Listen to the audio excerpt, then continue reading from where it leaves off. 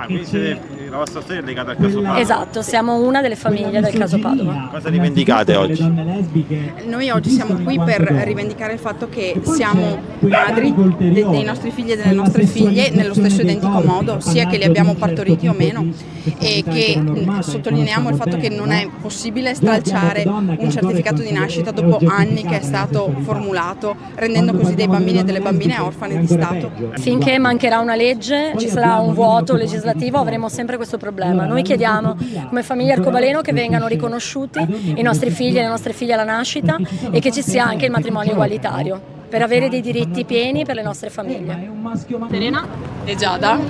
Raccontate un po' la vostra storia. Allora, noi ci siamo conosciute nel 2010 e quasi subito siamo partite per avere dei figli perché Serena aveva un forte senso di maternità e siamo andati in Spagna appunto da- per accedere alla fecondazione e sono arrivati subito i gemelli che adesso avranno 11 anni al prossimo Quest'estate, sì.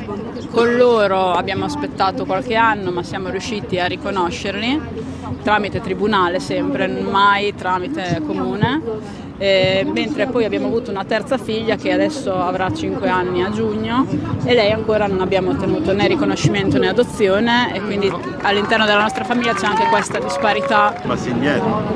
Ma più di uno, più di uno. Assolutamente. E purtroppo non ha permesso di poter avere anche il riconoscimento della più piccolina. Da questa piazza che messaggio fate? Assolutamente, il primo è che deve passare una legge che tuteli i nostri figli e quindi che vengano riconosciuti sin dalla nascita all'interno della famiglia, anche se siamo, noi siamo unite civilmente, ma eh, siamo famiglia anche se non si- fossimo unite civilmente. Quindi, eh, come dicevo prima, noi ci sentiamo madri sin dal primo istante in cui pensiamo di voler dei figli, tant'è che si definisce istinto materno. E non essere riconosciuti neanche dopo è quello che è successo a Padova è terribile dover continuare a lottare.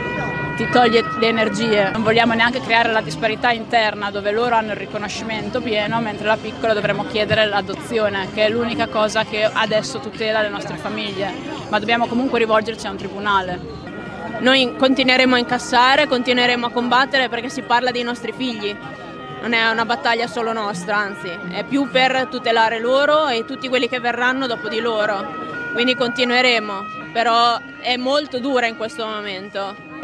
Si sentono molto discriminati, però sanno che questa discriminazione arriva solo da fuori, perché loro in realtà ci conoscono da sempre, sanno che la loro famiglia è questa, noi e la loro sorella, e con i loro amici tranquillamente, con eh, tutte le persone che conosciamo, diciamo la comunità che conosciamo, siamo accettati, quindi diciamo che viviamo in una bolla, però si rendono conto che fuori è molto diverso.